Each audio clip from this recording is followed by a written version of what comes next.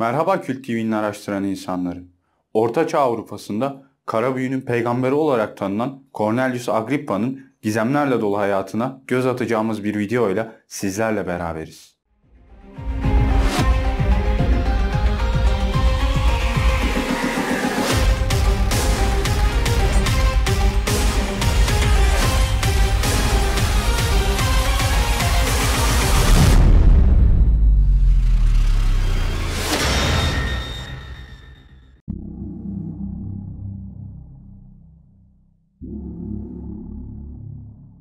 Agrippa 14 Eylül 1486'da Köln yakınlarındaki Nettesheim'de orta direk bir ailede dünyaya geldi. Ailesinin pek çok üyesi Habsburg hanedanında hizmetçilik yapmıştır. Agrippa, Köln Üniversitesi'nde 1499'dan 1502'ye kadar eğitim aldı.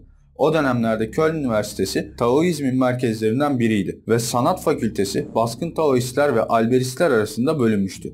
Agrippa'nın okültizme olan ilgisinin bu Albertist takımdan kaynaklandığı muhtemeldir. Agrippa, Albert'in spekulumuyla ilk okült çalışmalarını gerçekleştirdi. Daha sonra yüksek öğrenim yapmak için Paris'e gitti. Burada ilk defa kadim cemiyetlerle tanıştı ve kesin olarak hangisi olduğu bilinmemekle birlikte cemiyete katılarak eğitime tabi tutuldu. Bu cemiyetin Altın Şafak Hermetik Cemiyeti olduğu düşünülmektedir. Okulun ardından 1508 yılında paralı asker olarak çalışmak için İspanya'ya gitti. Seyahatlerini Valencia, Baleares, Sardunya, Napoli, Avignon ve Lyon ile sürdürdü.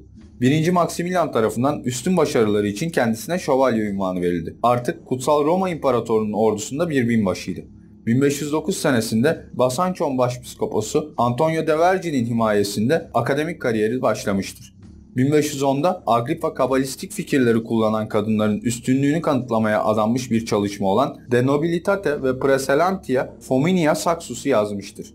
Kitabı muhtemelen cemiyette eğitimini üstlenen üstadından esinlenerek hazırlamıştır.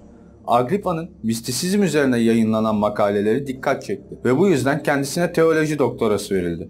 1509-1510 kışında Agrippa Almanya'ya döndü ve Würzburg'da humanist John Tritemus ile çalıştı. 8 Nisan 1510'da De Occulta Felsefi adlı dev eserinin taslağını tamamladı. Artık tüm Avrupa kralları Agrippa'nın ilminden medet umuyordu.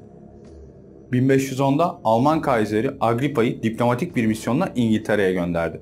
Burada St. Paul Katedrali'nin dekanı olan Platoncu John Collett'ın konuğuydu ve kendisine Katalinet tarafından yöneltilen suçlamalara cevap verdi.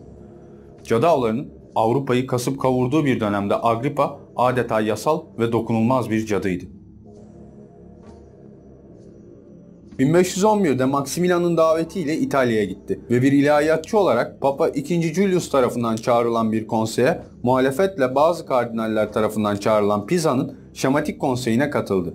Kuzey İtalya'da geçirdiği süre boyunca Agrippa, Agustino ve Paolo Ricci ile irtibata geçti.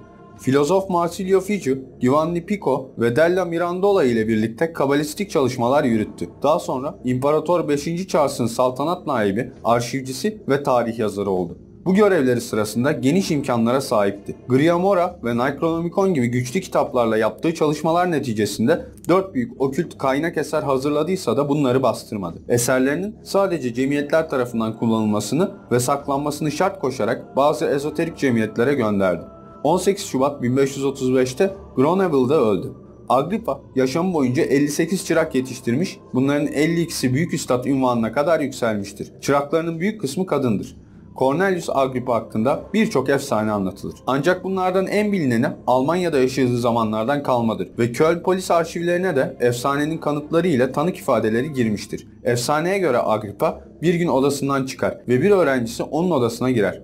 Agrippa'nın kitaplığına bakmaya başlar. Kitapların arasında ilginç siyah kaplı bir kitap öğrencinin dikkatini çeker alır ve kitabı okumaya başlar. Kitabın Griomore olduğundan habersiz olan öğrenci okuduklarının etkisiyle Demons'un One der. Yıllardır bir kitabın içerisinde hapsedildiğini söyleyen Demon öğrencinin korkmasına neden olur.